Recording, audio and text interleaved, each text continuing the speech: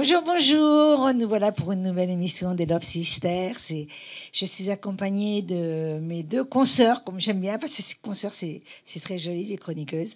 Donc, de Véronique et de Myriam. Bonjour à toutes et à tous. Et nous allons commencer par recevoir euh, un groupe qui s'appelle MAB, Rock. Et c'est Véronique qui le reçoit. Oui, alors aujourd'hui, euh, on reçoit Ange Hein, parce qu'avant de parler de Mab, de votre trio, Ange, auteur, compositeur, interprète. Hein, euh, j'ai entendu que tu avais dit les deux pieds ancrés et la tête dans les étoiles, le rêve permanent. bon, déjà, tu nous, je sais pas, tu nous invites dans ton univers. Alors, tu vas nous raconter un petit peu ton parcours et comment est né euh, ce trio. Oui, bah déjà, merci de vous accueillir. Hein. Voilà, très sympa. Euh, on est très, très, très content euh, d'être ici en ce début d'année. Euh, l'histoire est assez. Une nouveauté quand même, parce que tu es déjà venu. Oui, oui, on revient. On, avait déjà eu l'occasion de, participer à, une émission pour laquelle on était venu en duo. Voilà, avec Bonjour. Michel. Donc euh, l'histoire est assez simple. Hein. Moi, je suis auteur, compositeur, interprète. Voilà, j'ai un univers qui est le mien, euh, de la euh, chanson française, variété. Hein. voilà, on, est sur la compo, bien sûr, et chemin faisant, dans, le parcours qui était le mien, on, se rencontre les uns les autres. Voilà, j'ai aussi fait du gospel et autres. Lui a aussi fait du jazz. voilà, dans, dans, son parcours. Et puis les choses font qu'on se croise ça match. Et puis à partir de là, on essaye de voir si euh, on arrive à créer quelque chose ensemble et on arrive à, à, le projeter vers un éventuel public. Euh, voilà, c'est un petit peu ça l'idée. Et surtout, euh, arriver à se, à se faire plaisir. Donc l'idée quand même dans, dans, le projet, c'est toujours de se faire plaisir. Donc par rapport à ce que tu signales comme étant une des phrases, oui, je dis aussi souvent aux gens que je croise, n'ayez pas peur d'être heureux, c'est juste un bon moment à passer. Et quand on voit les périodes qu'on est en train... Tu crois que les gens ont peur d'être heureux?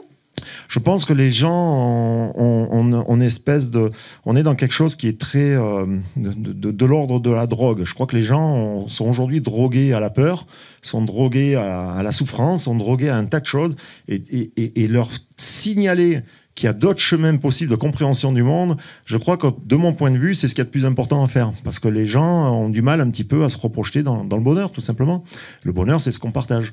La plupart des gens, tu veux dire Peut-être la plupart des gens. Après, je, voilà, moi, j'en fais pas partie. Je pense que Michel non plus. Ici, autour de la table, on est plutôt ceux qui se projettent vers les autres. Du moment qu'on choisit de se projeter, c'est qu'on est dans quelque chose qui va vers du positif. Voilà.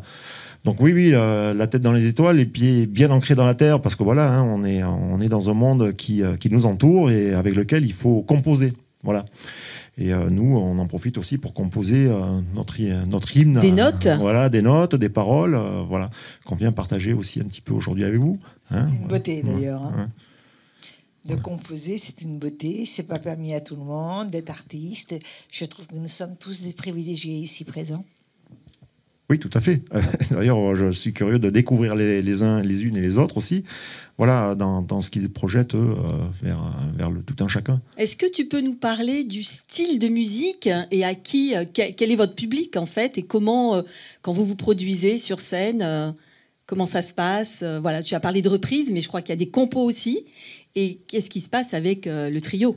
Oui, alors euh, tout d'abord, on est plutôt sur la, sur la, la compo. Hein. Voilà, nous, on se projette là sur un, album. Hein. On est en train de préparer un album, donc on, on va mettre, euh, on va mettre les, les morceaux qu'on pense être le plus aujourd'hui, euh, qui auront une résonance peut-être moins dans les textes parfois parce que c'est des sujets sérieux, mais qui musicalement nous permettent aussi de nous, nous, nous, projeter dans, dans, quelque chose qui, qui fait... un peu plus léger ou festif. Oui, voilà, qui, qui permettent un petit peu de swinger un petit peu plus, voilà, que les corps se rencontrent de nouveau enfin voilà, que les gens aient envie d'échanger. Et euh, donc on est en préparation d'un album. Effectivement, on fait aussi de la reprise puisqu'on se projette dans diverses animations. Voilà, quand l'occasion se présente. Euh, je, dirais que notre musique, elle est de la variété française. Alors la variété, pour moi, c'est pas péjoratif. Hein. On chante en français hein, sur les sur la création. Et euh, ça s'adresse à tout un chacun. C'est-à-dire qu'on a un style qui, bon, là, on est sur quelque chose de guitare-voix, donc on est un peu plus pop-rock. Hein, voilà, mais il y a aussi l'univers piano que tu connais très bien, Myriam, parce qu'on a eu l'occasion de, de, de, partager ça ensemble. je, te, euh, je te prie de m'excuser. Ton, ton instrument de prédilection? euh, Ça serait plutôt la voix. Pour commencer. Donc, je suis plutôt chanteur. voilà, j'ai eu l'occasion de chanter avec Emmanuel Job et d'autres hein, dans le gospel. J'ai eu l'occasion de faire des tournées très, très, très sympas. Mais euh, c'est plutôt le piano. Donc, pour répondre précisément à l'instrument, euh, voilà, je suis plutôt pianiste et où j'exprime mes compositions à travers le piano d'abord. Donc, c'est bien différent. Et, dans le travail de, composition, est-ce que vous êtes, vous êtes tout le trio à fond dans, dans, la création ou est-ce qu'il y en a un qui a un peu plus la main mise sur sur les compos, c'est plutôt sa base à lui, sur laquelle nous on va, amener notre couleur. Vous enrichissez la musique, voilà. De... Merci. Ouais, ouais, ouais c'est complètement malléable. dire dans l'arrangement? Dans l'arrangement, absolument. Oui, l'idée, c'est quand même toujours, alors je lis, parce que je crois qu'il y a une chanteuse euh, qui va nous expliquer un petit peu ce qu'elle fait. Euh, je, l'idée, c'est toujours la musique, ça, il, faut que ça, il faut garder quelque chose. Enfin voilà, moi, je considère que le monde est en mouvement. Et quand on est soi-même en, voilà, quand on est soi-même en mouvement, ça permet aussi de, de, proposer ce que nous sommes, ce que nous faisons, ce que nous créons, à, être malléable. Donc, quand je rencontre euh, Michel, euh, Bruno, voilà, sur le, sur le trio, eh immédiatement, quand on rentre euh, dans, dans, dans, la phase de, de, mettre tout ça en commun, chacun vient y amener sa patte. Et forcément, on n'est pas tout à fait pareil quand on est avec un instrument ou un autre, quand on vient avec son univers voilà, ça permet un petit peu de, de, réarranger tout ça, mais euh, la, finalité pour nous, elle est moins de saisir un instant à travers une photographie, on va dire un album ou autre, mais c'est de se projeter vers les gens. Et on se rend compte qu'au fur et à mesure de notre parcours, euh, ça évolue tout le temps, tout le temps, tout le temps. C'est ininterrompu. Voilà, les choses évoluent. Et puis tant mieux. Et puis nous aussi. Heureusement. Le, processus créatif, c'est tu commences par écrire une musique. Tu, es, tu es derrière ton, ton piano. Ou est-ce que c'est d'abord le texte qui t'emmène Parce qu'on sait que les mots, hein, déjà la mélodie des mots, est-ce que ce sont les mots qui t'amènent vers la musique ou l'inverse? Je dirais c'est tout ça, mon capitaine. Voilà, non, mais la création, c'est quelque chose qui nous anime à des moments et pas à d'autres. C'est des choses pour lesquelles on se retrouve en face à une réalité qui, voilà, qui, qui nous interpelle de quelque chose. Moi, j'ai que des textes qui parlent aux gens. Euh, je parle de la vie amoureuse, je parle de, des enfants, je parle, voilà, dans, dans, dans ce qu'on présente euh, musicalement aujourd'hui. On, on, a un texte sur les enjeux de société, aussi en lien avec, euh, voilà, les les, virus qui circulent, mais qui, qui, doivent nous faire penser aussi à ce qu'est le monde dans son mouvement. Ça, ça doit toujours circuler. Hein, oui, eh ben, tout à fait, tout à fait. C'est comme une danse, hein, tout à fait. Voilà, on, est humain, donc voilà, il y a une finitude à tout ça. Il faut, faut rester humble avec ça. Mais je parle aussi euh, de, choses. J'avais composé une chanson, quelque chose qui m'avait touché. Donc un des morceaux que je mets dans ce medley euh, qu'on vous présente aujourd'hui, c'est euh, j'avais été touché par le premier mariage gay qui se passait à Montpellier. Et j'avais écrit une chanson, voilà, moi j'ai écrit une chanson là-dessus, parce que la première photographie qui m'était venue à l'esprit, c'est je voyais deux hommes en train de s'embrasser dans la rue, et je me posais la question de savoir si moi-même, euh, au, fond de moi-même, je suis quelqu'un de complètement ouvert à tout, enfin voilà, est-ce que ça, ça me choquerait? Et le premier, la première chose que j'imaginais, c'était de voir ces deux hommes en train de se rouler une pelle. Je, je, le visualise comme ça. Il rouler une pelle. mais ah il a raison. C'est pas baiser la rue, ça. C'est rouler une pelle. Voilà, en train de se rouler une pelle à l'ancienne. Et je me dis, est-ce que ça me choquerait? Et j'avais écrit une chanson là-dessus, hein, qui est une chanson qui est, euh, qui est un hymne à, la rencontre amoureuse. Voilà, point. Euh, mais à travers ce regard que nous portons ou que nous pouvons porter dans notre société avec les, voilà, les, freins que nous avons, notre éducation, et sur ces deux hommes. Et la chanson euh, parle de ça, mais d'une manière euh, voilà. Oui, heureusement qu'aujourd'hui on, les a autorisés à se marier parce que quand ils passent des années ensemble et qu'ils se retrouvent sans rien et tout, ce n'est pas normal. Ils ont le droit d'avoir leur vie, ils ont le droit de peut-être que j'en suis une hein, aussi, mais je trouve que je sais pas. Oui, malheureusement il y a encore beaucoup de chemin à faire pour que ce voilà, soit, il y a beaucoup vraiment de beaucoup de chemin à faire. Euh, mais nous on est bien, nous on est, on est large d'esprit. Oui, mais je pense que tu as raison parce que tu en parles à travers tes chansons, ça va peut-être réveiller des consciences à se dire ah oui, au fait, euh, comment je réagis face à ça, alors que c'est quelque chose de tout à fait naturel. Quelqu'un qui s'aime, il y a quelqu'un en face. mais lui, il réagit bien, il se pose la question. Mais il y a des gens qui ne se posent pas la question. C'est brut de béton euh, et, très méchant. Donc euh, voilà, toi, tu t'es posé la question. C'est ça qui est. Je me suis posé la question sous cet angle, mais je suis, je suis un féministe. Euh, de, depuis toujours. Donc ouais, non, mais je suis un féministe. Et euh, par exemple, la troisième chanson aborde la question du, du départ dans le couple. Et, c'est pareil, là, là on a des... T'es déjà habillé en femme Habillé en femme, sûrement. Non, mais j'ai un côté très féminin. Moi, moi j'ai vécu dans les jupons de ma maman. Non, mais moi, j'ai vécu dans les jupons de ma maman et mon frère, pour parler simplement, dans, dans, les bleus de travail de, de, mon père. Parce je cherche un gogo, peut-être que tu fais faire euh, des remplacements de temps en temps. Ça, je fais Performeur. Non, parce que je trouve que l'exercice du corps, euh, l'exercice du corps est un exercice mille fois plus difficile que l'exercice de la voix. Euh, celui qui se présente à travers son corps dans l'exercice artistique.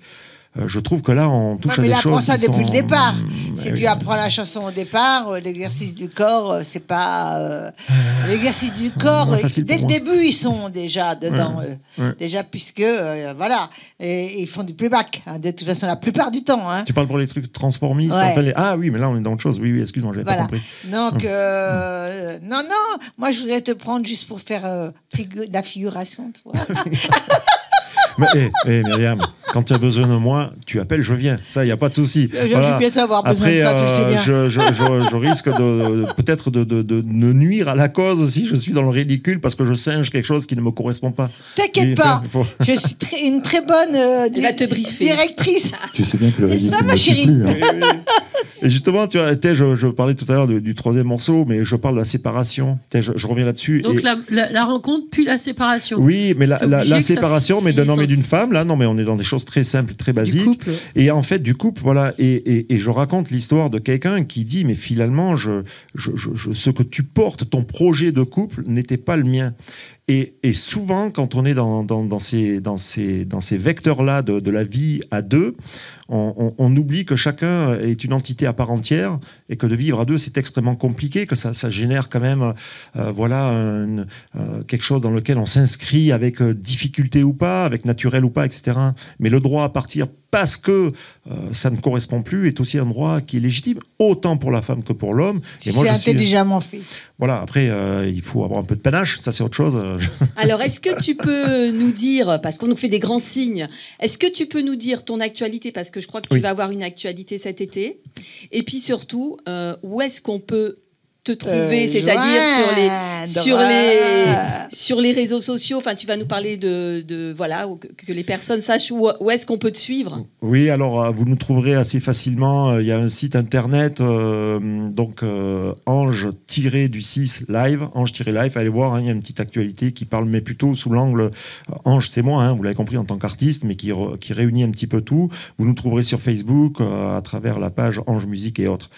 Ceci étant, on est en train de préparer un album. Bon, je reviens pas sur la crise. Hein. on vient d'avoir une crise que tout le monde connaît. Bon, il y a eu beaucoup de choses qui ont été très compliquées pour le monde artistique, hein, parce que c'est souvent le, sacrifié en premier. Donc, on est en train de s'inscrire dans un redémarrage de tout ça. On a plusieurs formules. On a aussi un groupe qui s'appelle The OBS. OBS. Euh, voilà, des concerts ont été annulés. C'est comme ça qu'on s'est rencontrés d'ailleurs. Parce qu'au début, il venait faire le choriste dans notre groupe OBS, où on est six sur scène et nous, on fait du rock français. Ah, enfin, tu parles, toi, hein ah, si, il a un peu parlé tout à l'heure. Il faut laisser parler. Ah oui, il parle beaucoup, hein, lui. c'est ses compos, donc quelque part, nous, on a juste amené notre couleur sur lui. Après, à côté de ça, effectivement, avec le groupe rock, on fait, euh, on a un autre univers, et donc du coup, il participe. Aujourd'hui, il a pris le lead des chansons anglaises parce que du coup, ben, il, parle, il chante bien en anglais, alors que notre chanteur chante plutôt que le français, et il fait surtout du yaourt en anglais. Donc l'anglais a été repris par Patrick, et du coup, effectivement, ça, ça a mené un plus au niveau de notre groupe de rock. Et c'est comme ça qu'on s'est rencontrés. Et après, on a créé Mi-Ange, où on a fait que des, en duo. Et puis, notre batteur était passionné par ce qu'on faisait. Et du coup, il nous a rejoints. Et c'est pour ça que ça a créé MAB. Pourquoi t'es pour danseuse? Oui, alors euh, la, question de, la manière dont on se projette euh, aujourd'hui, je, dirais que notre, notre idée, elle est quand même de se projeter en live. C'est quand même la question. Là, on a une date qui nous est proposée par le Gazette Café qui redémarre aussi son activité. Euh, donc, on sera présent chez eux en juillet. Alors, j'ai plus la date exacte. On est en train de vérifier ça avec eux. C'est la, la petite c'est le point de mire qui est le nôtre dans, dans l'esprit de la création d'un album. Donc nous, on est en train de créer l'équivalent d'un... non, mais on, on, on va, on, essaie de créer un album qui a vocation aussi à nous projeter sur scène. Donc c'est un album de concert. Voilà, c'est dans cet esprit. Donc ce qui sera sur l'album, c'est ce qu'on est capable de faire sur scène. De toute façon, on te reverra d'ici là. Et si on les écoutait euh, D'abord, on peut peut-être leur poser une question. Est-ce que tu as un numéro de téléphone? Non, mais c'est après le live, ça. Mais, euh, il sera, alors, beaucoup de gens l'ont, beaucoup de gens l'ont, mais... Euh, c'est bizarre euh, qu'ils ont peur, les hommes. Les femmes, elles ont moins peur que les hommes. J'essaye de garder ça quand même assez discret pour ceux... Est-ce que tu as un numéro de téléphone?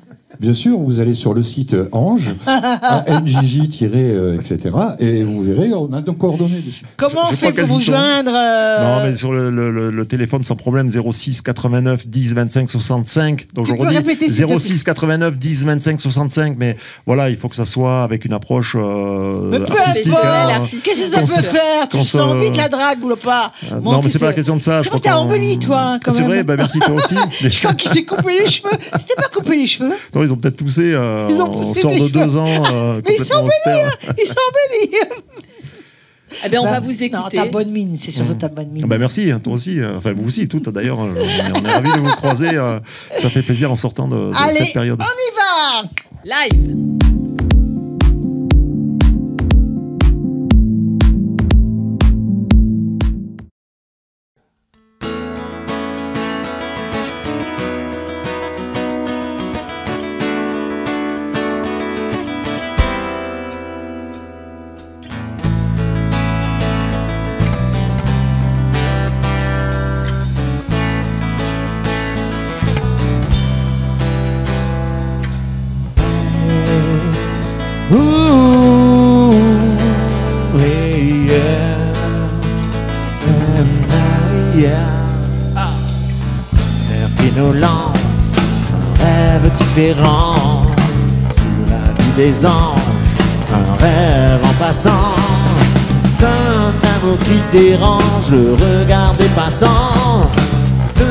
êtres qui nous lancent un message enivrant, d'un amour qui éveille les sens, deux hommes qui s'échangent dans un vieux monde au détour d'un chemin. Pousse à la détresse ceux qui s'aiment dans leur coin. Dans un vieux monde au détour d'un refrain, pousse vers l'ivresse ceux qui s'unissent dans leur coin, dans leur coin. Dans leur coin.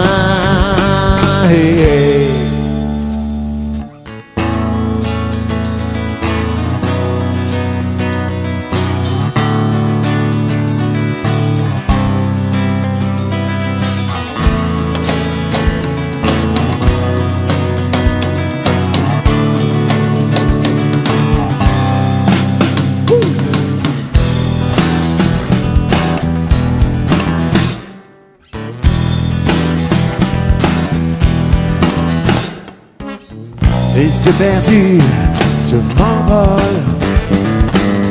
Tant de questions, je m'affole. J'ai beau à me rassurer, je m'y perds. Moi sans issue, obligé de faire marche arrière. Hey, marche arrière. Marche arrière. Non, non, non, non, non. Matin je vais passer à rêver. Embouteillage, je vais pas bouger, m'évader d'un système où je suis enlisé. Prise au piège de leur monnaie, leurs idées. Où je me trouve un morceau de paradis. Cette fois-ci, je me tire d'ici faut je me trouve un morceau de paradis. Cette fois-ci, je tire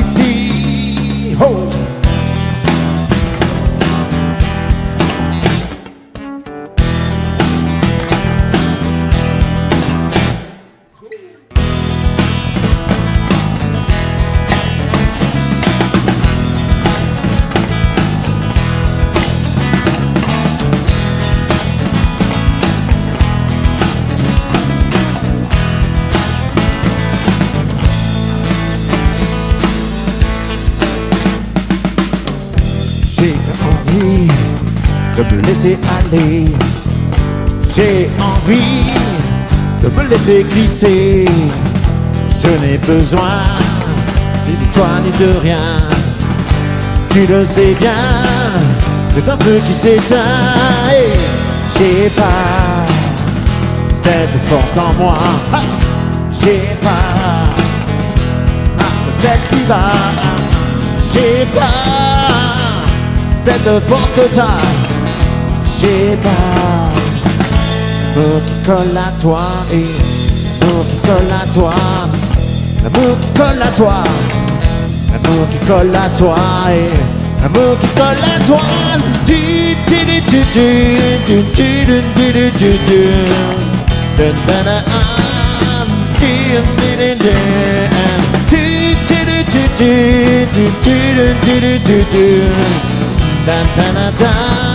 Yeah, yeah, yeah.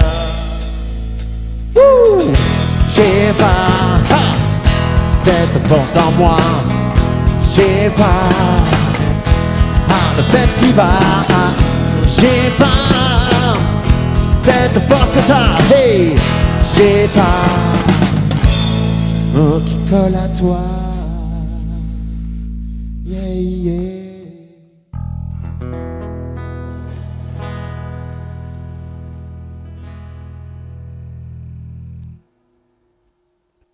Eh ben, c'était génial. Et je trouve que c'est beaucoup mieux d'être à plusieurs.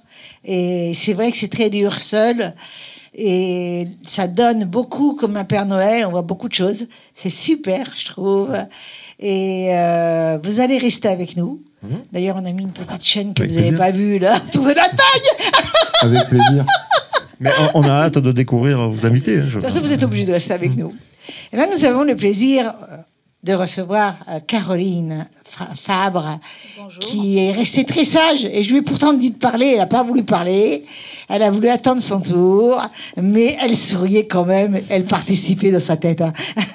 Et c'est Myriam qui va l'interviewer. Bonjour à tous, encore merci à, à ce côté musical que vous nous avez apporté sur le plateau. Et maintenant, on va passer justement dans les, au niveau des textes maintenant, puisque nous avons la chance d'avoir Caroline Fabre-Rousseau, qui tu es romancière. Oui, mais j'aime beaucoup la musique et justement en écoutant Ange, je repensais à mon premier roman, euh, C'était malgré nous, qui démarre autour d'un piano et dont le personnage principal est un piano et euh, où on voit, euh, on passe en permanence du monde du jazz avec les impros. Euh, un autre langage et le monde classique plus normé et euh, justement c'était un roman qui, était sorti en 2012 euh, ce sujet que tu as abordé, un homme qui embrasse un homme. et en 2012, c'était moins normalisé, voilà. Donc euh, j'étais contente, vite, euh, mais- voilà. J'étais contente parce qu'en fait, euh, dans le processus créatif, euh, quand je t'entendais parler, je me reconnaissais aussi puisque j'ai l'impression que en fait, quand on crée, on a une espèce d'antenne gigantesque qui capte un petit peu tout ce qui se passe. Euh, Oui, des paroles, des Et situations. quel a été le déclencheur pour toi? Pour le, le premier roman? Oui, pour celui-ci du piano. Alors là, euh, c'est parce que j'avais été photocopier euh, le Stabat Mater de Pergolèse, parce qu'on m'avait demandé de- d'accompagner au piano. Et euh, donc, c'est une grosse partition. Oui, parce que tu joues, tu joues du piano. Oui, mais euh, amateur. D'ailleurs, après, j'ai dit non, c'est trop long, j'ai pas le temps. Mais euh, et je suis tombée sur quelqu'un qui cherchait euh, un, un musicien et on a discuté. Et puis je me suis dit tiens, c'est une rencontre amusante, c'est assez romanesque. Puis après, j'ai complètement changé. Euh, dans le roman, c'est devenu Et complètement tu as créé le personnage, par, le, personnage créé- du livre par rapport à ton vécu. Ah non, pas par rapport à mon vécu. J'ai vécu avec cette avec personne. cette situation, oui, j'ai vu cette situation qui a- et ça, j'ai fait une nouvelle et ensuite euh, des amis m'ont dit mais c'est c'est un premier chapitre de roman, tu devrais continuer. Donc je savais même pas ce que j'allais vraiment écrire.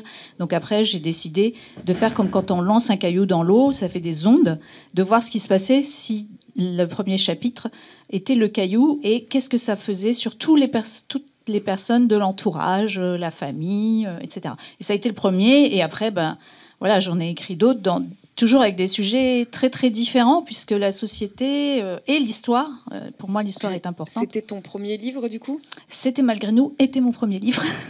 Et, et qu'est-ce qui t'a amené à l'écriture? Du coup Je suis curieuse et Ah bah, euh, bah, j'ai toujours euh, aimé écrire. euh, enfant, j'écrivais, mais je m'étais jamais donné le droit d'écrire puisque euh, j'ai fait des études classiques, euh, prépa, Sorbonne, etc. Et donc on- j'étais en, en admiration totale devant ces écrivains fa- fabuleux et je me suis jamais vraiment donné le droit d'écrire, mais après, bon, j'ai travaillé, j'ai eu, euh, enfin, j'ai toujours quatre enfants, et j'ai fait un peu comme les écrivains américains que j'aime beaucoup. je, me suis donné le droit d'écrire parce que j'avais quand même vécu. Donc j'avais des émotions, des expériences qui pouvaient m'aider à nourrir euh, des personnages et rencontrer mes lecteurs. Parce que je me mets à la place des lecteurs. J'écrivais pour moi, certes, mais j'avais aussi envie de faire passer toujours un message. Et pour être efficace, il faut créer de l'émotion. Et l'émotion, on la puise en soi. Et tu, aussi, tu cherches aussi de l'émotion à travers euh, des causes oubliées, avec une histoire qui, qui, n'a pas eu la place qu'elle mérite, d'après toi. Oui, je trouve que euh, j'ai de la chance, de, comme Ange qui écrit des chansons, euh, d'avoir la plume facile. Et il y a des gens qui ont plus de mal ou des gens qui ont vécu des drames ou qu'on a fait taire. Et j'ai toujours voulu mettre un peu ma plume à leur service. Donc il y a un travail historique un travail historique parce que, qu'on le veuille ou non, on est complètement pétri d'histoire. Et euh, c'est, je trouve que la manière dont on enseigne l'histoire, c'est un petit peu inhumain, statistique, euh, c'est très éloigné. Et euh, un journaliste, une fois, m'avait fait un très beau compliment que je prenais pas pour moi, mais pour les lycéens. C'était de dire qu'en fait, pour enseigner l'histoire, il faudrait faire lire des romans comme ça, des romans historiques ou des biographies romancées, parce que quand on peut s'identifier à un personnage, on traverse une période avec lui et on n'oublie pas, et les événements euh, touchent le personnage, donc ça nous marque comme chacun de nous est marqué par des événements qui lui sont arrivés ou qui sont arrivés à ses parents, grands-parents, etc. Et des fois, il faut du temps pour que ça arrive à, enfin que la vérité arrive à, sortir.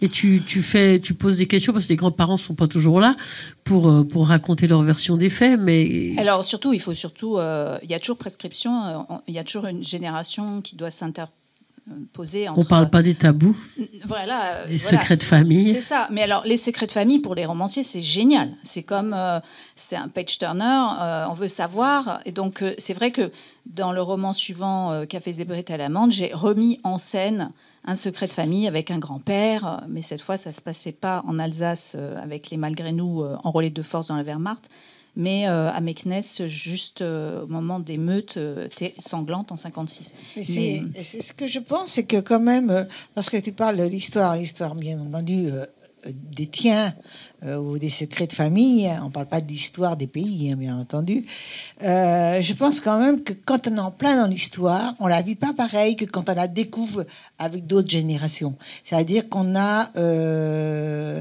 on a, et on a, on a traverser euh, d'autres choses, et on a d'autres idées, et c'est pour ça que tu peux bien écrire, sur, euh, à mon avis, hein, sur tes ancêtres. Alors, j'écris pas. C'est pas les tiens. Non, pour l'instant, j'ai pas écrit sur mes ancêtres. J'écris pas sur euh, moi. Par pudeur? Bah parce qu'il y a tellement de choses intéressantes dans le monde que j'ai envie de découvrir tout ce qui n'est pas moi. et en plus, ça m'enrichit de toute façon. et quand, de toute, en plus, on ne sait pas toujours qu'on vit un moment historique. Hein au moment où on le, vit. Si, euh, bien sûr, euh, Charlie et Hebdo. un moment historique. il, y a, il, y a, parfois, on ça en a commence comme ça. Oui, ça commence comme ça. Peut-être, hein, peut-être. Euh, mais tout, oui, c'est très bien de dire ça parce que chaque moment, chaque moment, c'est un moment historique de notre propre histoire, évidemment. Mais il nous faut toujours, enfin, pour comprendre, il faut avoir un peu de recul aussi. Euh, c'est ce que j'ai dit, c'est ce que je disais. C'est ça, c'est ce que je voulais dire. Il faut du recul. Il faut du recul. L'histoire par elle-même, l'histoire de chaque pays, il y a de gros mensonges. Ah, ça, c'est sûr. Ah, voilà, donc. Euh, oui, mais des fois, c'est justement. Ça, ça, ça la, la, graine du départ n'est peut-être qu'une petite famille qui reste avec un acte isolé qui, qui peut changer tout, toute l'histoire. Tout, oui. tout, tout, le cours de l'histoire et d'un peuple aussi. Et puis aussi, il y a des figures historiques qui nous servent de modèles inspirants. Euh, comme par exemple, j'ai raconté la, la vie d'une femme peintre de l'époque romantique, Julie Duvidal de Montferrier donc euh, hein, voilà. mais qui est devenue la belle-sœur de Victor Hugo et qui, en son temps, a été extrêmement célèbre, gagnait très très bien sa vie. Euh, c'est la seule femme qui est un tableau accroché à l'Assemblée nationale euh, et qui qui est complètement tombée dans l'oubli, alors qu'à son époque, c'était quand même une star. Et ça, c'est ça aussi, moi, qui m'intéresse, c'est de remettre les projecteurs sur des personnages inspirants, mais qu'on a délibérément des âmes écartés. oubliées surtout des femmes, hein, d'ailleurs. Là, il y a plusieurs livres. Hein. Comme par oui, le, on, va. Voilà, tu as, une, belle carrière d'écriture. Et donc, le déclencheur, c'est l'envie de justement de parler de ce qu'on ne parle pas. Mais tu vas nous parler de ton dernier livre aussi. Euh, Elle venait d'Orenbourg. Oui, il est là. Voilà. Elle venait d'Orenbourg. En fait, c'est plus du tout euh, le même euh, univers. J'avais parlé peinture, mais là, c'est deux femmes qui décident de faire des études de médecine à Montpellier. Oui, et qui euh, venaient en fait d'Orenbourg, donc en Russie, et qui sont les exactes contemporaines euh, de Marie Curie. Euh, elles sont arrivées à la fac de médecine de Montpellier en 94 avec un fort accent russe, en ayant fait un petit passage d'abord à Genève. Et l'une, Glafira Ziegelman, va être la première femme admissible à l'agrégation de médecine interdite d'oral, une fois qu'on a décacheté la, copie anonyme, parce que c'était une femme. Donc j'ai entendu cette euh, anecdote euh, par hasard. C'était, je l'ai inscrite dans un petit carnet parce que j'écrivais à ce moment-là euh, La belle-sœur de Victor H. Et je me suis dit, je vais en parler. Et en faisant mes recherches, je me suis aperçue qu'elle n'était pas venue seule d'Orenbourg à Montpellier, mais avec une autre jeune femme, son amie, une amie, Raissa Lesk, qui va devenir qui va pas passer la grecque, elle va suivre son mari étudiant, enfin médecin euh, qui avait fréquenté la même faculté de médecine à Montpellier, euh, en Argentine, dans une des premières colonies euh, juives fondées par le baron von Hirsch. Et là, elle va donner naissance à Joseph Kessel. Donc là, j'avais deux femmes exceptionnelles au destin totalement différent et qui illustrait parfaitement la condition féminine à cette époque où la science permettait aux femmes de s'émanciper euh, parce que euh, elle faisait des, sections, elle voyait des hommes nus, alors qu'à la même époque, les jeunes filles qui prenaient des cours de dessin euh, et qui n'avaient pas encore le droit d'aller aux beaux-arts devaient regarder les statues à l'envers parce que c'était choquant et n'avaient pas le droit d'avoir des, des, modèles vivants.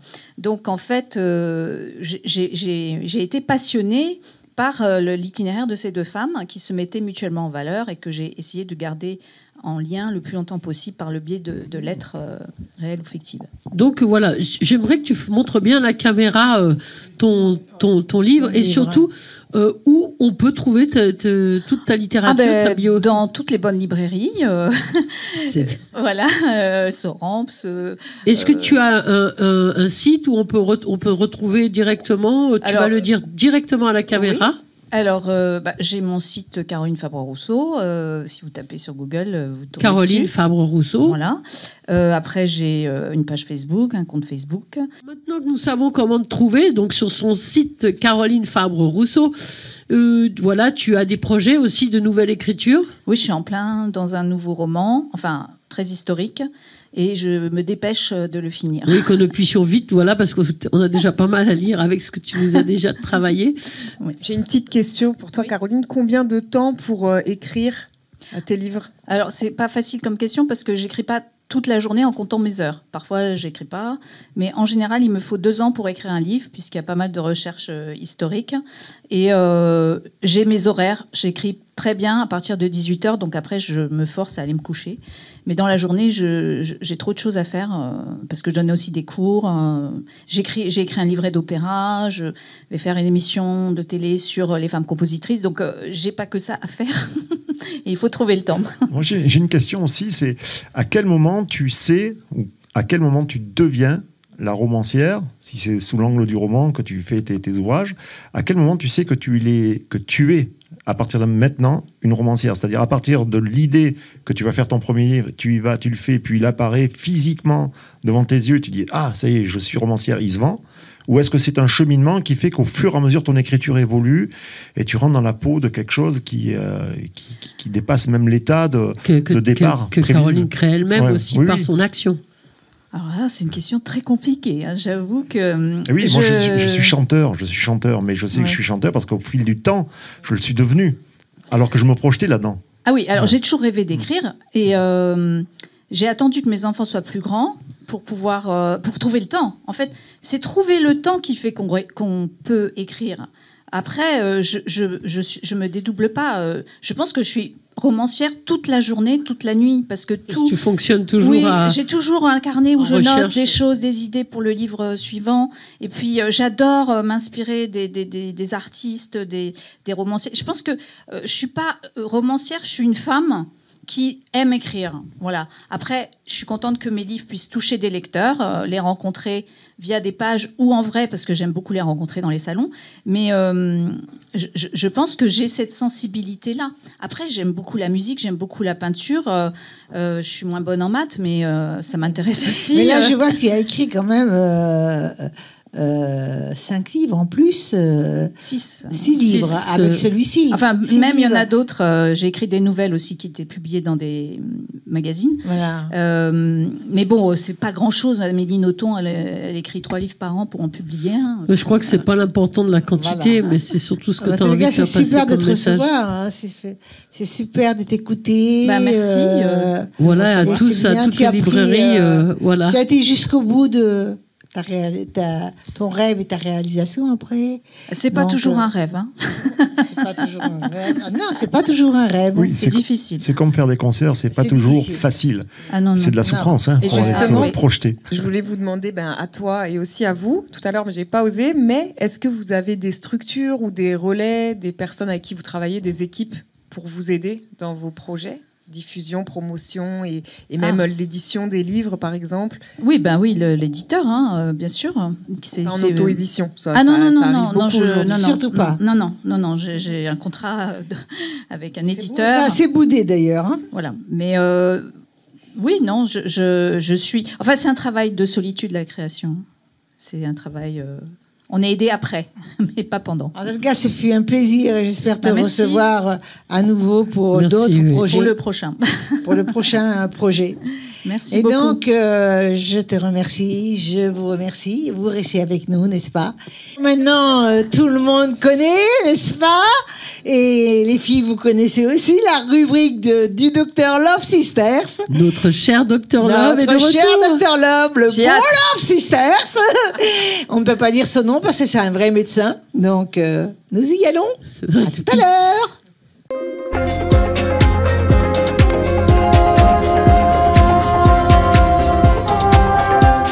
Besoin de le présenter maintenant, puisqu'il fait partie de la famille Love Sister.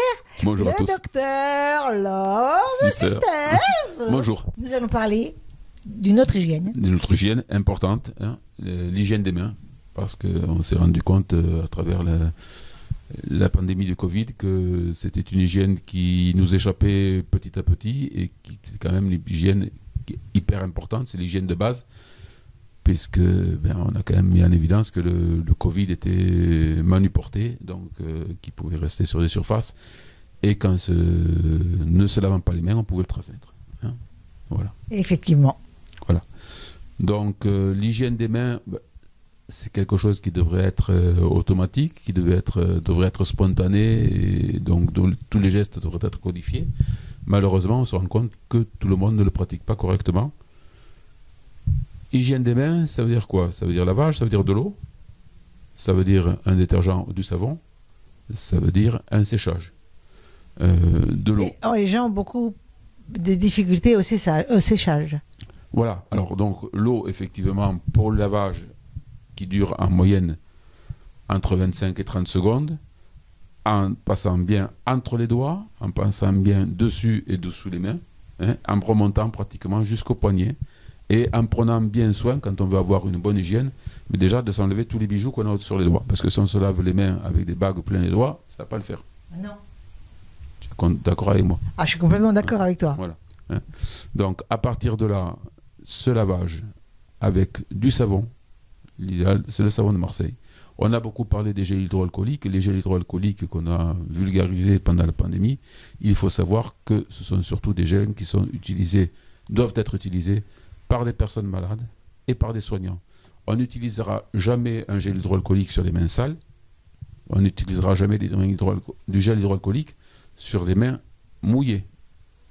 Après le lavage des mains, ce qui est très et pourquoi, pourquoi? Alors, pour deux choses. Premièrement, après le lavage des mains, il est très important de se sécher les mains Parce que, y compris sur des mains qui viennent d'être lavées, si les mains restent humides, on a 100 fois plus de germes sur les mains humides que sur les mains sèches, même sales. Deuxièmement, si on utilise du gel hydroalcoolique sur les mains mouillées, on va diluer l'alcool.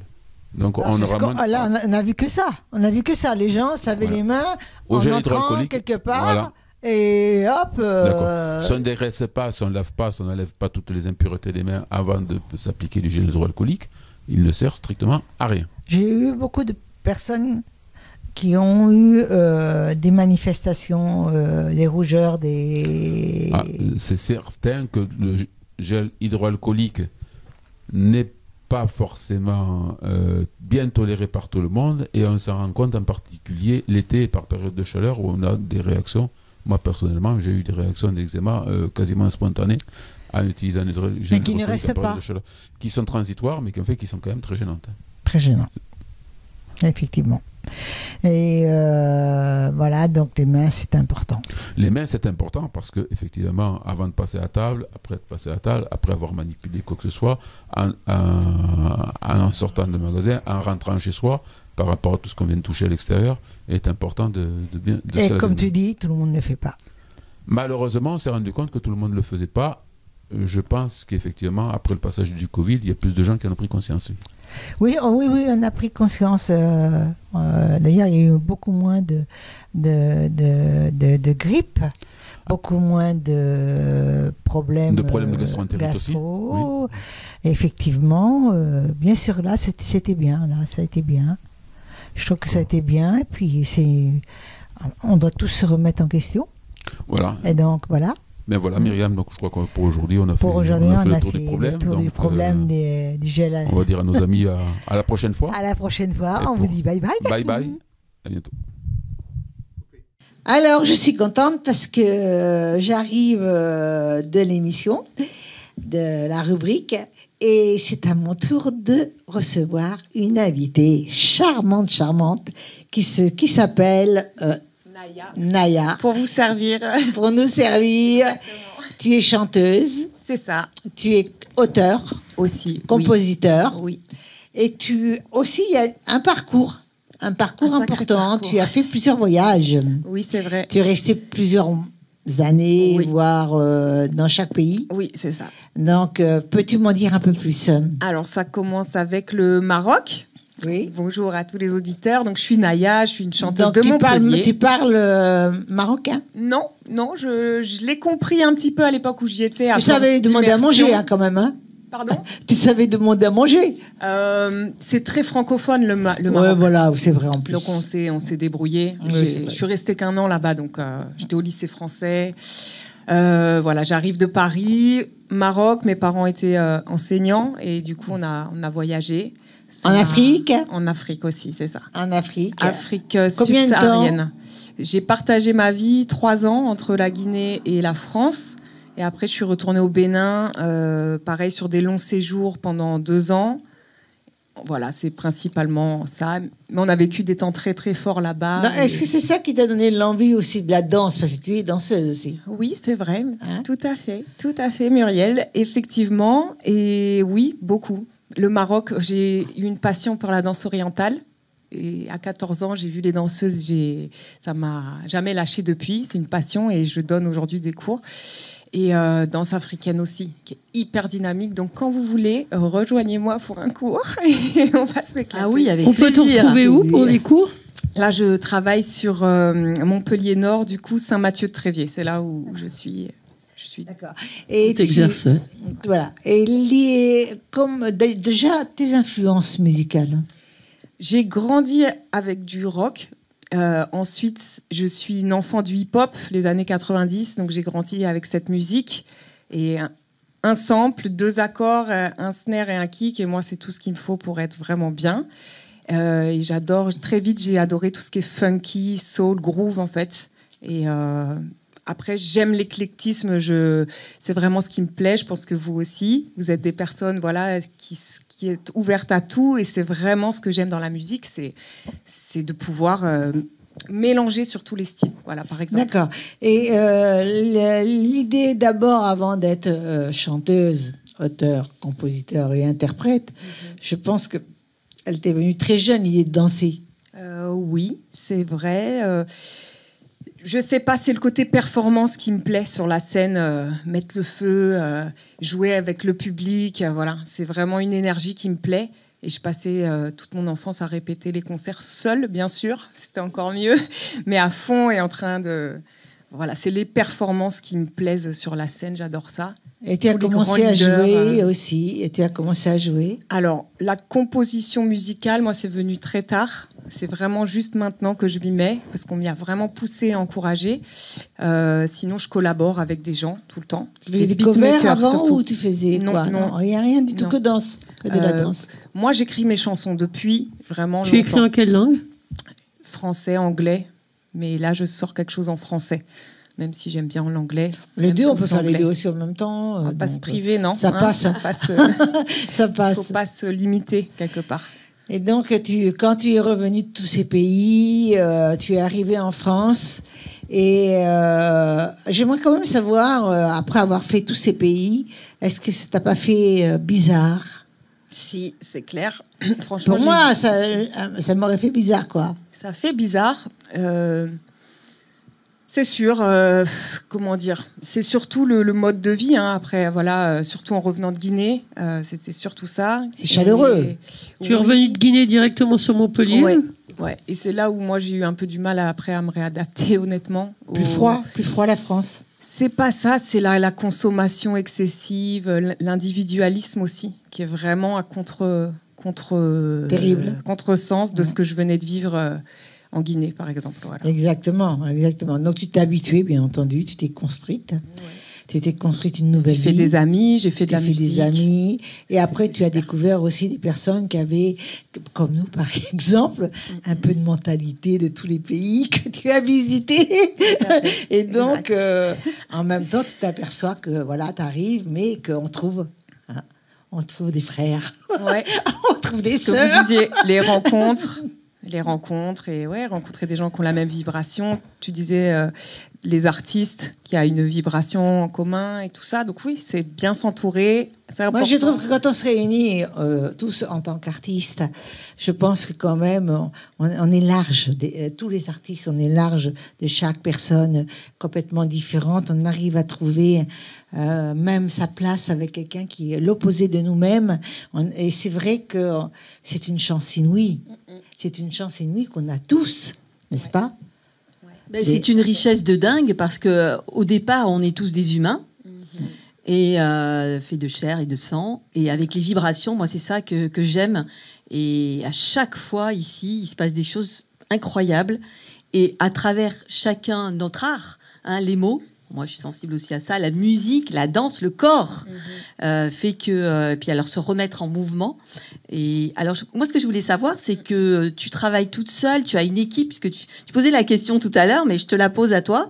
Est-ce que tu as des gens autour de toi avec qui euh, tu travailles, tu te produis sur scène, que ce soit la danse, la musique? Alors j'ai un, super guitariste, Dimitri, big up, et des musiciens depuis peu, pareil, qui sont des crèmes. Et ça, c'est vraiment top, qui m'accompagnent maintenant sur scène, histoire d'envoyer un peu plus. Sinon, je viens du, des sons de système, DJ, vraiment le milieu plus rap. Alors, t'aimes bien la pédale quand même, t'aimes bien la pédale, la, la pédale, tu sais, euh, De voix? Pour les voix? Oui. Alors, je m'y connais pas non plus. C'est génial avec le guitariste. Il, il, branche la guitare. Et ça, c'est génial. Hein Faire des loops et tout ça.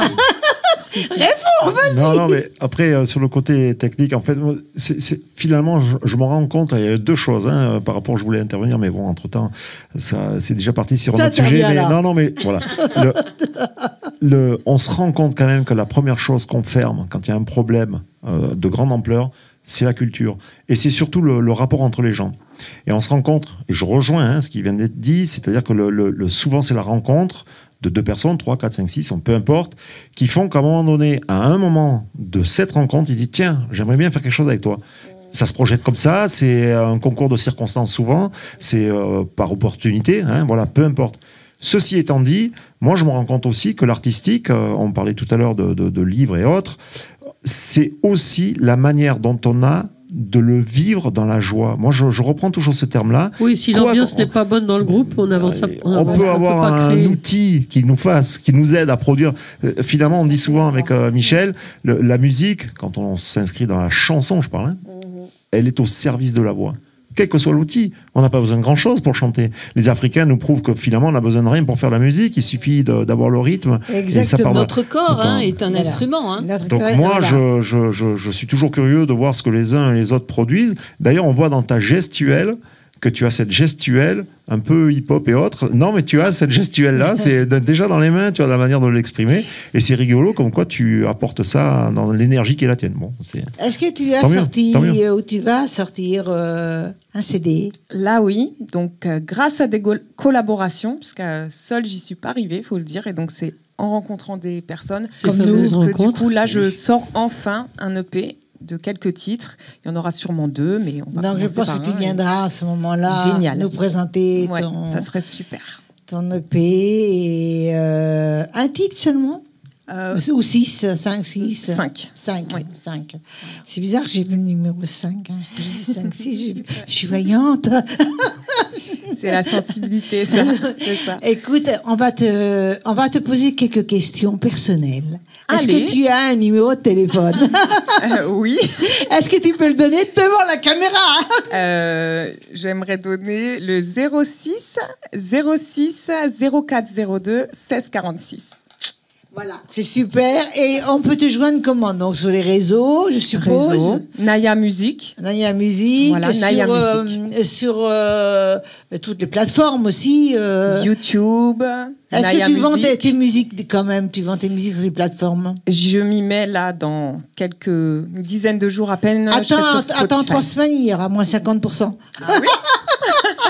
Mais c'est bon à savoir. Ah bah oui, il faut donner les renseignements, les tuyaux, hein, faut les donner aux artistes. Ah ben, alors dans trois semaines euh, sur les plateformes. Écoute ma chérie, on va t'écouter. Avec grand plaisir. On va t'écouter, on reste à t'attendre hein, quand même.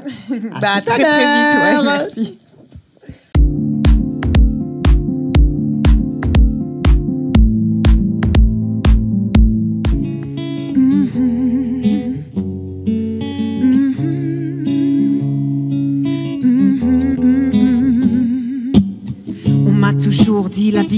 Des montagnes russes De la haute voltige sans fil comme au cirque grus Pantin sans ficelle sous les cumulus On accumule les malus, les hiatus, les mal donnes La vie c'est pas comme au cinéma L'amour c'est pas comme Gina et John. Un arc-en-ciel couleur pantone J'ai cru voir un fantôme. Dans tes yeux plus d'atomes Ta voix atone devant les nouvelles atomiques. Il ne me reste que ces quelques gammes pentatoniques.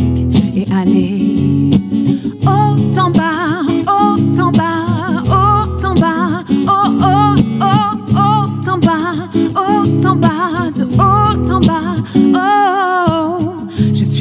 ciel et terre, le père et la mère, le désir et l'enfer. Parfois je m'y perds, j'ai pas de fer à mes pieds, pas d'aile pour voler, pas d'endroit dans l'univers où faire volte-face planer. Loin très haut, loin dans mes idéaux, loin des mots, laisser ma peau de côté quand j'ai pas de peau. Enfin pouvoir décoller, loin des hommes, loin de l'atmosphère morne, loin des normes sous lesquelles on doit briller sans jamais, jamais s'arrêter. Haut en bas, haut en bas, de haut en bas,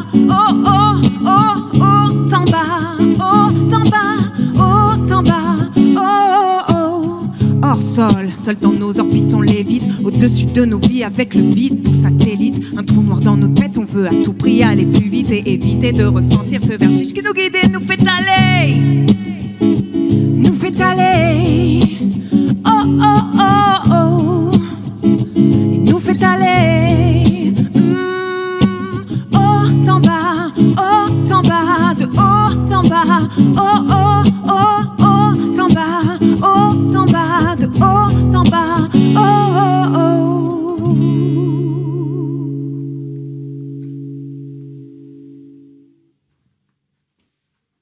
Alors c'était génial, génial, génial. Merci écoute, euh, bah, écoute, du soutien. C'est un plaisir et j'aurai un plaisir de te recevoir à nouveau. Et moi de revenir. Donc à très bientôt pour la suite. Merci. Nous avons deux invités qui sont arrivés sur le plateau.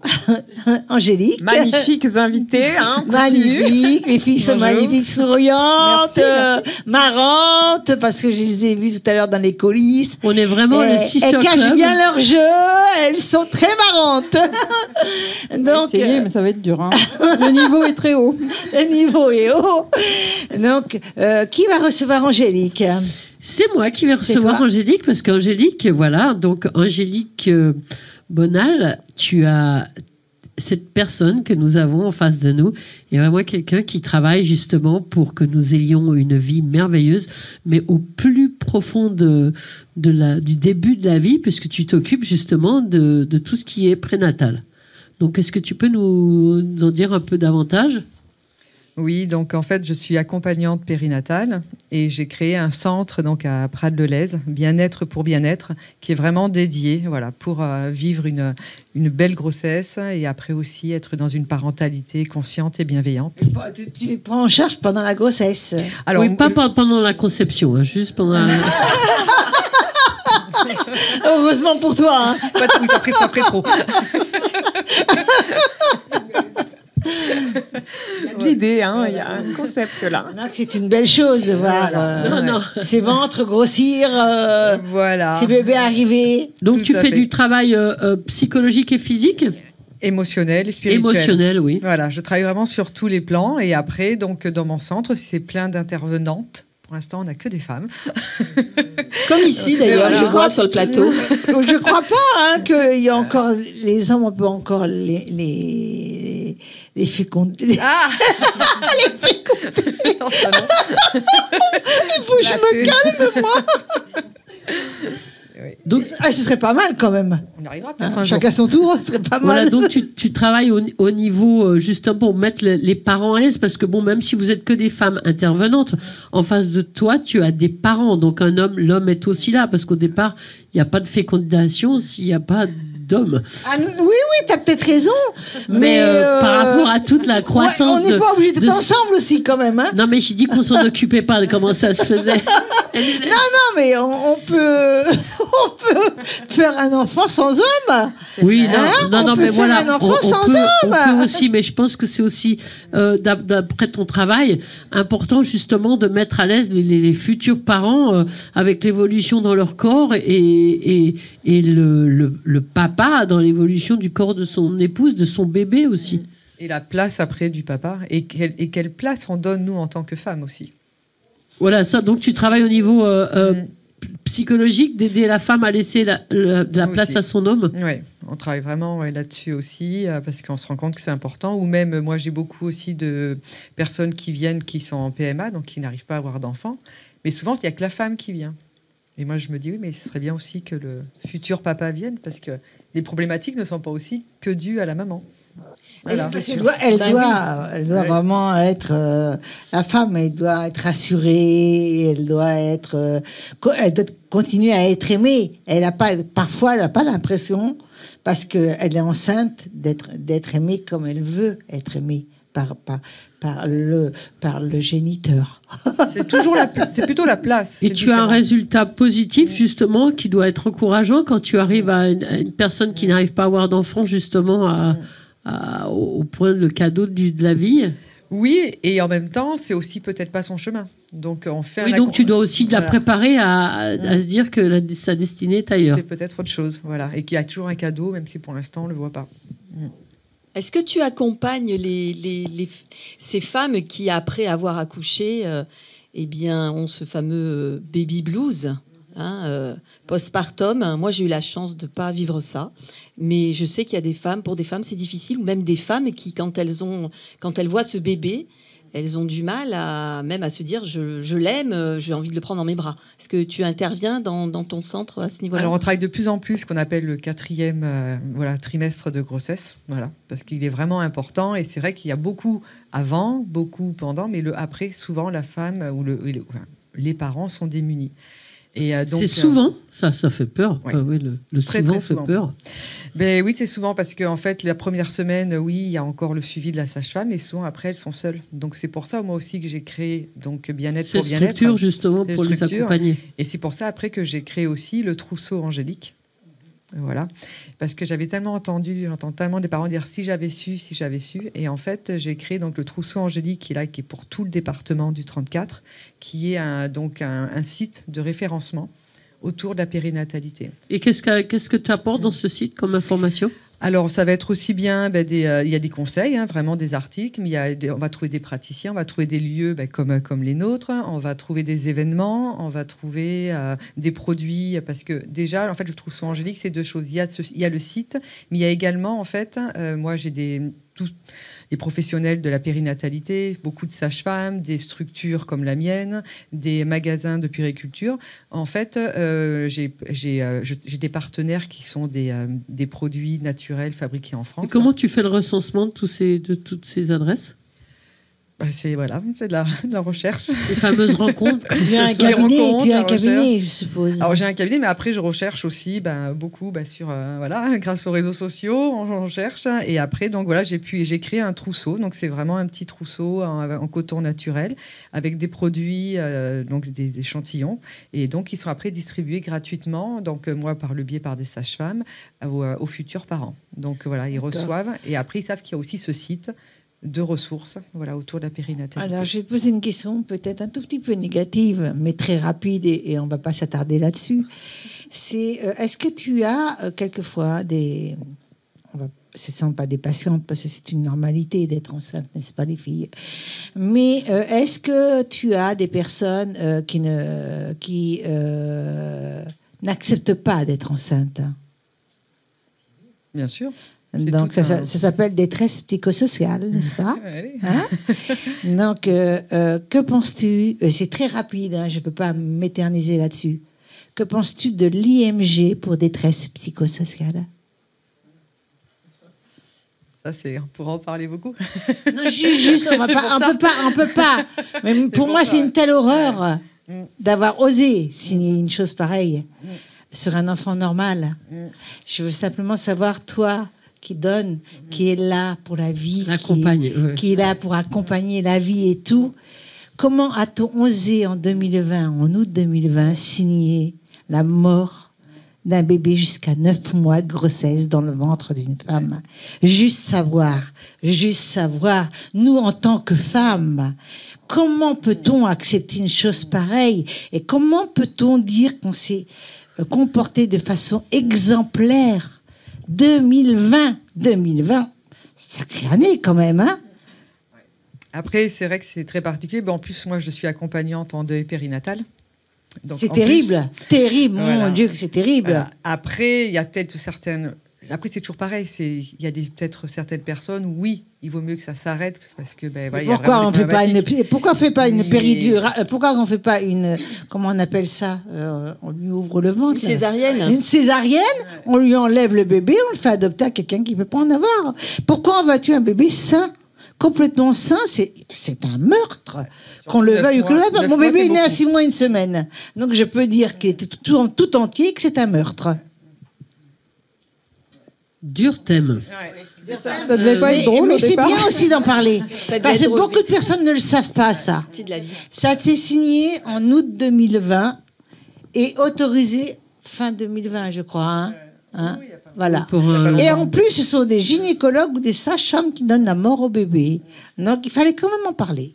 Oui, on, va, on va revenir quand même sur une petite, sur une petite, une grande page positive. dans le positif, il ne faut pas ignorer le négatif. Non, non, on n'ignore pas. D'ailleurs, voilà, on n'ignore pas puisqu'on a laissé une, petite page parenthèse sur ce sujet-là. Mais pour en revenir aux, enfants, papa ou maman bien vivants, tu travailles avec eux jusqu'à jusqu'à quel âge? Euh, Le bébé, l'enfant. Après, ça dépend. Donc, moi, je travaille, ça dépend. J'en ai de 2, 3, 4, ça, dépend en fait, ce qu'il y a comme problématique. Parce que moi, je travaille aussi beaucoup en énergétique. Donc, euh, tant C'est-à-dire euh, je fais donc des soins énergétiques. Euh, voilà, parce qu'en fait, quand l'enfant ben, ne peut pas mettre encore vraiment des mots, Euh, et ben donc on va aller travailler plus sur euh, voilà l'énergétique parce qu'il y a beaucoup de blocages. Mais comme je travaille aussi avec les femmes enceintes, euh, quand en fait à un moment donné on sent qu'il y a un blocage, que mentalement ça ne veut pas sortir, et ben il faut aller travailler plus dans, sur les autres plans. Voilà. Et donc ça va être l'énergétique, c'est une imposition des mains. Très bien, et de plus en plus, hein, il y en a de plus en plus. Mm. Et est-ce que tu, lorsque la, la, personne accouche prématurément, le bébé, vous avez un suivi sur le bébé? Alors moi, je dis toujours de toute façon euh, aux, futurs parents, c'est bien de venir de toute façon une séance, comme on dit, faire une séance d'ostéopathie, voilà, de venir aussi venir faire une séance d'énergétique, parce qu'il y a toujours de toute façon un traumatisme. Et tu as tous ces corps de métier dans, ton, dans ta structure? Euh, Oui. Très bien. oui, on essaye d'être vraiment au complet. Et après, elle, est, géniale. Elle est géniale parce qu'on voit cet amour qu'elle a pour, pour, pour, pour la vie, pour la vie finalement. Hein J'ai une question. Vous êtes combien dans cette structure, en fait, à travailler autour de la maman, du bébé, euh, avant, pendant, après la grossesse? On est à peu près, on doit être à peu près 8, 8 euh, intervenants. D'accord. Donc, ils sont. Euh, enfin, plus précisément, est-ce que tu pourrais nous dire par exemple, il y a un professeur de yoga, je suppose. Voilà, on a, des, on a du professeur de yoga, on a du tout ce qui est en chant, chant prénatal et après aussi bébé chanteur, éveil musical. On a du portage, on a une naturopathe qui, a, qui est spécialisée euh, au niveau de la femme enceinte et, du, de l'enfant. Euh, on a après des soins quantiques aussi, donc de comprendre la parole de l'enfant avec euh, la kinésiothérapie. et tout est parti de toi, Angélique, du coup, c'était ton idée de structure? Oui, oui, oui. Bon, moi, j'ai travaillé, j'étais aussi éducatrice, donc j'ai travaillé avec les enfants, mais des enfants à problème. Et, et, donc souvent, ou les parents aussi, donc c'est souvent ça. Donc c'était des enfants sous protection judiciaire. Et ça a été vraiment de me dire, moi j'ai créé un centre à la base pour tout le monde, hein, voilà, déjà sur Prades de l'Est, l'atelier du bien-être. Mais j'avais vraiment ah, envie d'aller. C'est toi l'atelier du bien-être. oui, c'est elle. elle tu peux, peux peut-être dire à la caméra exactement où on peut te trouver. Oui. Alors, on peut me trouver à l'atelier du bien-être et à bien-être pour bien-être à Prades-le-Lez, dans la zone d'activité Les Baronnes. Donc, à tous les, futurs parents et, parents. Euh, qui ont envie justement de, donner beaucoup d'amour avec euh, un savoir-faire, qui n'hésitent pas à te contacter. Et bien sûr, là vient la question. La question, je vais, euh, je vais te donner me demander, mais là c'est plus pareil parce que tu n'es pas, tu n'es pas dans le métier artistique et on risque pas, risque, un bébé va pas risquer de t'appeler. tu peux Les me parents. donner ton numéro de téléphone. Hein? Les parents vont appeler. Est-ce que tu peux nous donner ton numéro de téléphone pour te joindre euh, si on attend Oui, je veux bien. Alors, Il y a notre caméraman qui cherche de suite euh, comment faire pour noter. Alors 06 15 43 45 78. Bravo, bravo, ma chérie. Ben, merci beaucoup. Merci et, et, merci pour ce beau travail, noble travail qui est des, euh, des, des, enfants et des parents, des parents et des enfants, de bien démarrer dans la vie. Voilà. Merci. Exactement. Et maintenant, nous avons notre invité qui est très sympa, qui, était, qui souriait tout pendant la, l'interview. Et c'est à toi, ma chérie Véronique. Et oui, c'est mon fidèle. Mais on va t'embêter, crois-moi. j'ai bien... Non, mais j'ai bien compris, tu es en forme aujourd'hui, c'est incroyable. Comme Alors, toujours, bah, bah, non, mais là, je crois qu'elle a mangé du lion, je ne sais pas, je sais pas ce qui s'est passé. Ah, je suis privée, je suis privée d'alcool, je suis privée de tout. Faut pas que je grossisse, si, pas, si je prends un kilo, ça barde. Donc j'ai décidé de foutre le bordel. oh, bah, T'as raison, comme chez toi. Alors j'aime bien la chanson euh, de Starmania, euh, J'aurais voulu être un artiste. Et justement, euh, Florence, que, que, nous avons avec nous aujourd'hui, n'aurait pas dû être une artiste, peintre. Exact. Hein et en fait, elle a, elle a débuté, c'est incroyable parce que quand on la voit comme ça, par des études scientifiques, hein, et elle est même diplômée, elle est ingénieure chimiste. Et sa fibre artistique l'a emportée sur la raison. Voilà, elle va, elle va nous raconter un petit peu. Et tu as bien fait. Je ne regrette rien. Voilà, et en autodidacte, voilà, bah, carrément, elle explore la peinture figurative et sa relation à la nature est une véritable source d'inspiration. D'ailleurs, je crois que tu vis dans un écrin de verdure. Hein tu eh n'es pas venu chez moi pourtant, comment le sais-tu? Mais je, je, ne sais pas. on le voit, on le sent, il y avait une feuille qui était restée derrière tes cheveux non, c'est pas vrai. Alors, est-ce que tu vas, bah, tu vas nous raconter un peu ton parcours et comment, quel a été le déclencheur de passer de la chimie au pinceau? C'est vrai que c'est un peu éloigné, ça peut paraître très éloigné. Alors l'origine, euh, c'est vrai que euh, intérieurement, j'ai toujours été tiraillée entre ces deux aspects de moi-même, la créativité, le, côté instinctif, euh, lâcher prise, et le côté logique, raisonnable. Et jeune, j'avais peut-être pas la, la, foi en moi, et j'osais pas rêver que je pouvais être une artiste. Et je me suis laissé un peu euh, envahir par euh, ce que pense la société des artistes. Bien souvent, c'est oh là là, c'est dangereux comme parcours, etc. C'est risqué. Et puis peut-être il y a eu un élément déclencheur quand même.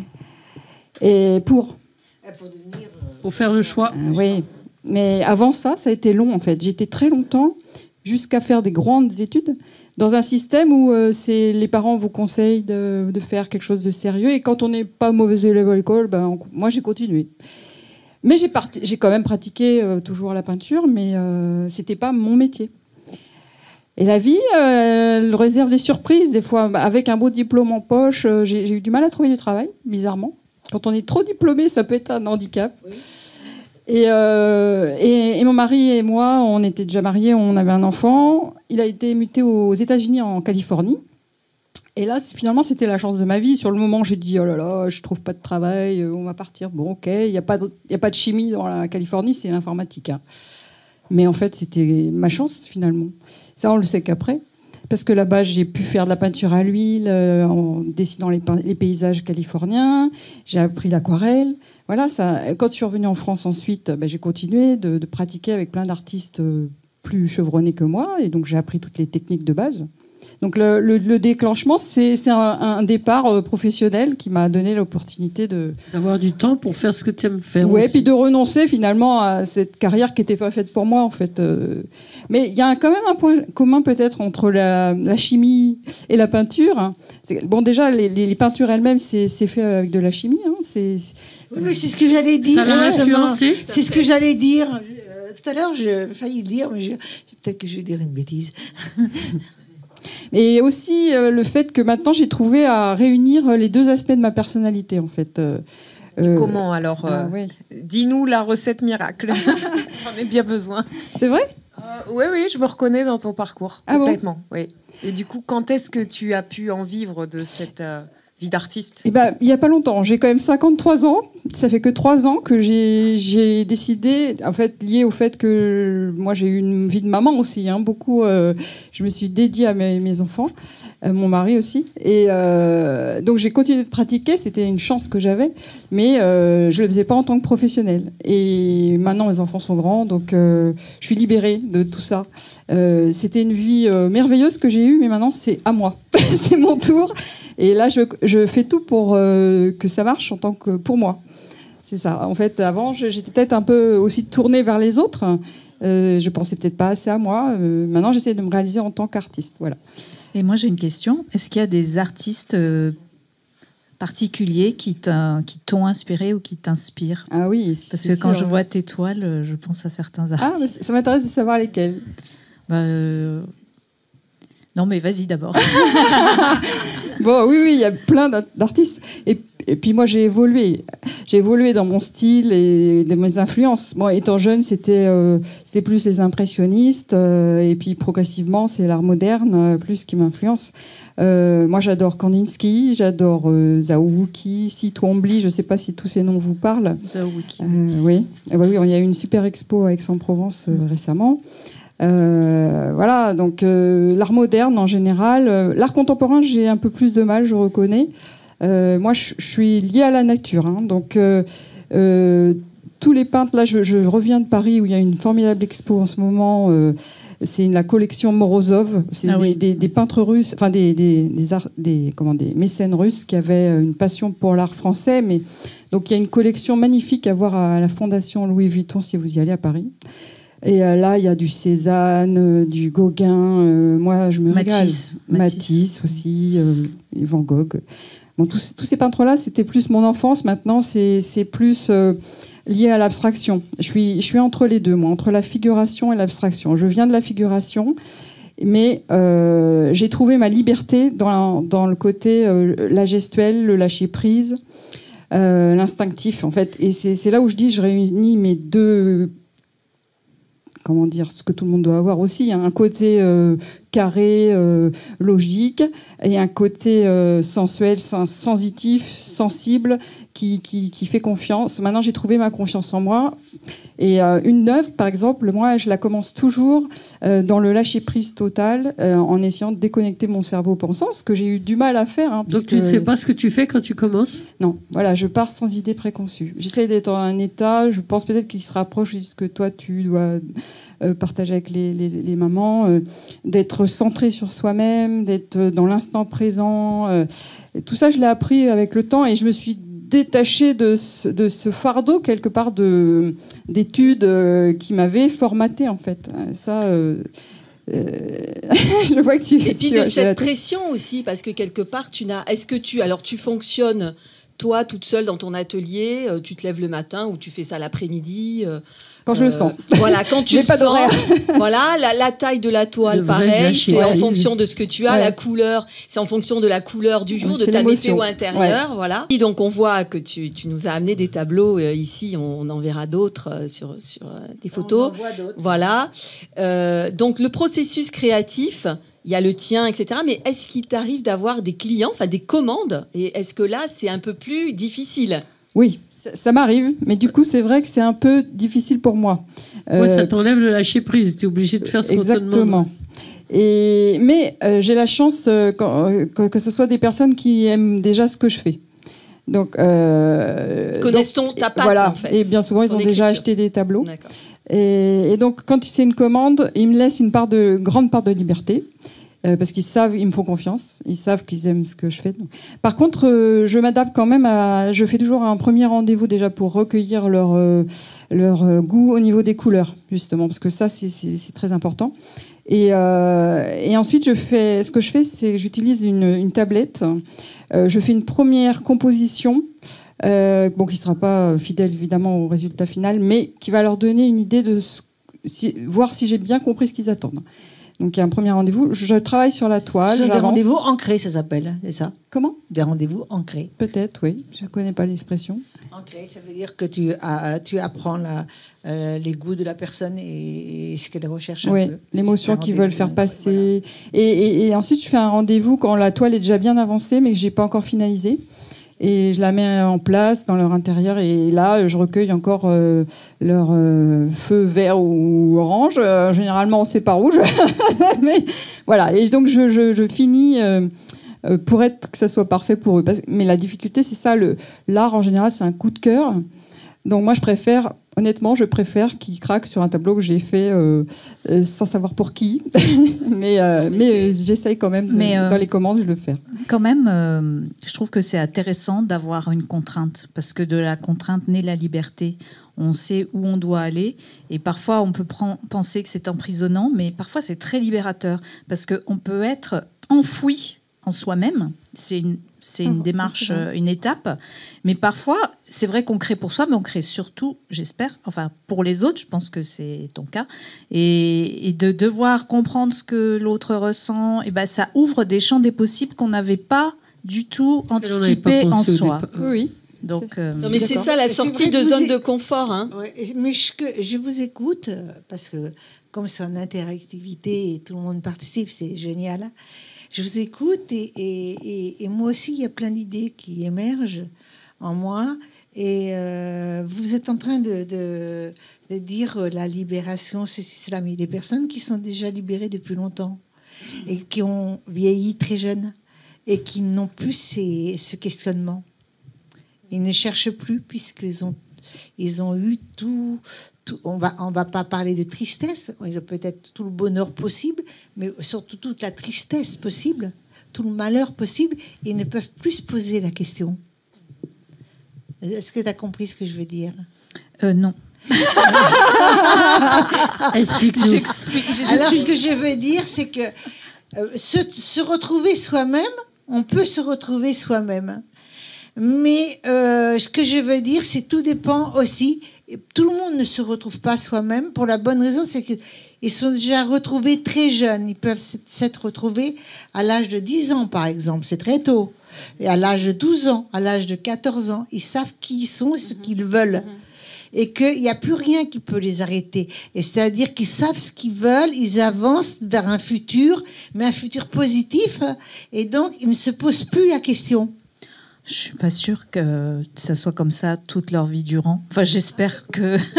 si c'est possible, hein, c'est possible. Mais en tout cas, euh, c'est vrai que pour créer, euh, il faut peut-être pas être comme ça. je suis pas sûre. Hein, je suis, je suis pas sûre parce que il y a les dédoublements qui existent. Ah, il y a des autre- dédoublements qui existent. Mais est-ce que tu as pensé, euh, est-ce que tu aimes Pollock? Oui.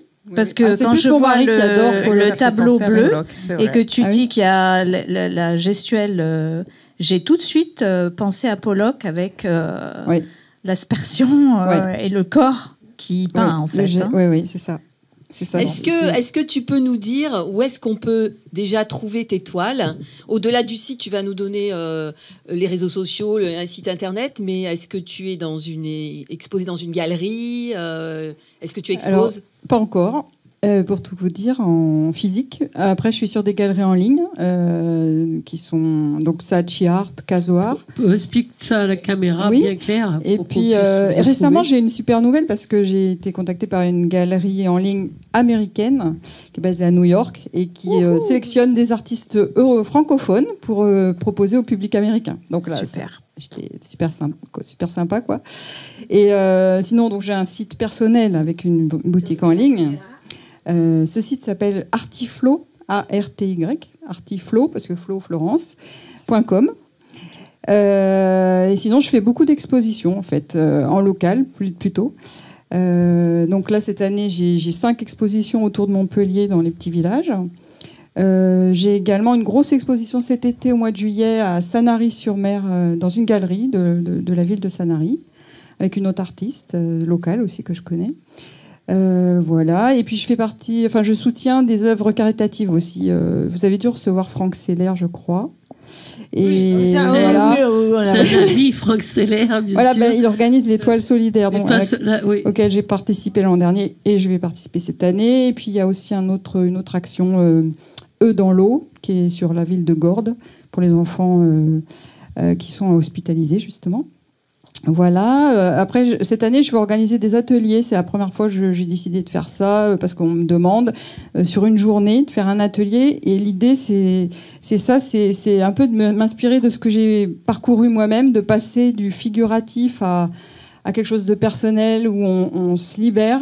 Et et, euh, ça, je, je rencontre beaucoup d'artistes qui sont un, un peu figés dans, dans le d'avoir besoin d'un modèle, d'un sujet toujours.